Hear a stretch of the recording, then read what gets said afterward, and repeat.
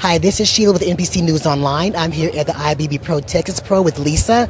Lisa, welcome to the Texas Pro. Thank you so much. So, have you competed before? Um, not here, but last week in Tampa. Oh, Yeah. Yes. yes. So, how was Tampa? Did you get good feedback from that?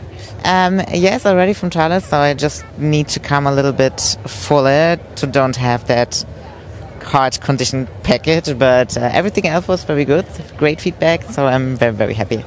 Are you doing anything after this? If you qualify, of course, you're going to the Olympia.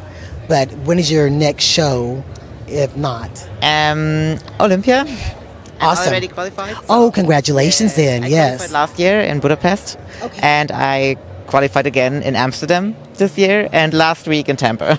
Oh, so you're just you're just gracing us with your presence. That's it. That's all you're doing. Well, thank you so much for picking our show to do. You were already qualified, but you're still coming to see us. So thank you so much for that.